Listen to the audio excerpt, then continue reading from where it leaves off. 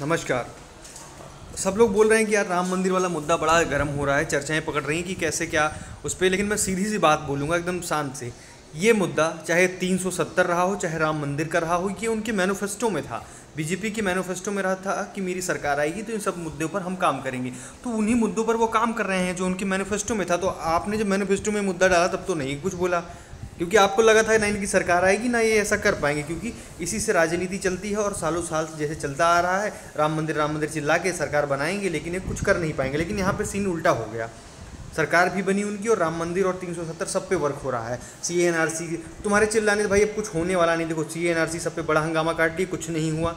ठीक है, बहुमत की सरकार है, कुछ होने वाला नहीं है। अगर वो सरकार जो है ऐसी होती कि टूट कर गिरेगी, फिर उसमें दूसरी पार्टी को हटा लेगी, समर्थन हटा लेगी, तब उस पर कुछ हो सकता था। पर ऐसे में तो कुछ नहीं होने वाला। जो मैनिफेस्टो में जो उन्होंने वायदे किए थे जनता से, उस उस पर जो है जनता ने उन वायदों को लेकर इनको बहुमत दिया।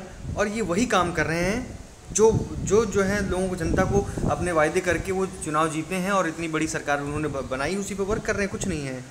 तो उस पर विरोध की क्या ज़रूरत है? और कोर्ट ने जब अदालत ने फैसला दिया है कि मंदिर बनना चाहिए वहाँ पर, वो जगह निर्धारित करी तो आप उसमें क्यों उछल कूद मचा रहे हैं? आप इतना उछलेंगे, कूदेगी ना तो उसका सारा फ़ायदा जो कोर्ट ने फैसला किया उसको जनता को लगेगा कि ये मोदी ने कर दिया। तो इसलिए उनको ही फ़ायदा मिलेगा उनकी सरकार लूट ले जाएगी सारे फ़ायदे और फिर से धूम मचा के आने वाली है बहुमत में। क्योंकि आप लोग ऐसे चिल्लाओगे, उस पर बहत्तर बार डिबेट होगी।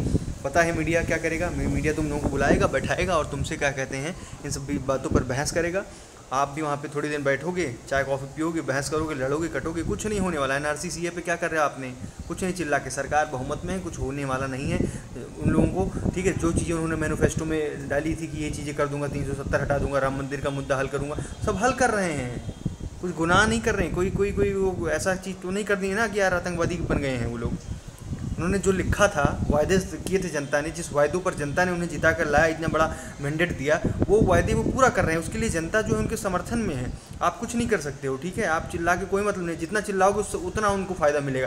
क्योंकि देश का एक धड़ा ये सोचेगा ये सारा काम मोदी जी कर रहे हैं योगी जी कर रहे हैं ये लोग। क्योंकि सरकार इनकी है सारा चीज़ तो इन्हीं को फ़ायदा मिलने वाला है तो आप फालतू में चिल्लाने का कोई मतलब नहीं आप उस पर बहस ही मत करो शांत हो जाओ। उस, उस मुद्दे को लेकर आप शांत रहोगे उनसे चिल्लाने की कोई ज़रूरत नहीं है। आप जितना वहाँ पे चिल्ला रहे हो ना, उतना उनको अलग से जो है उसका प्रॉफिट मिल रहा है।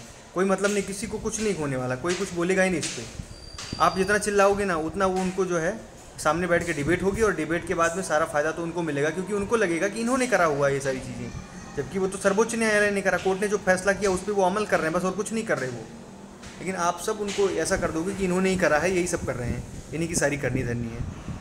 तो ऐसा आप लोग सोच रहे हो? और सोचिए, देखते हैं क्या होता है।